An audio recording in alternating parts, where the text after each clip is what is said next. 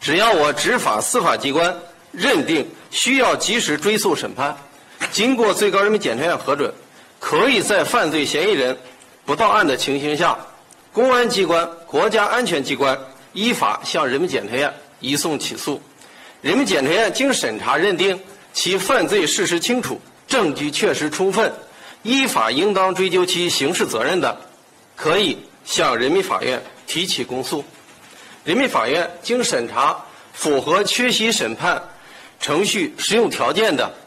应当决定开庭审判。只要实施了分裂国家、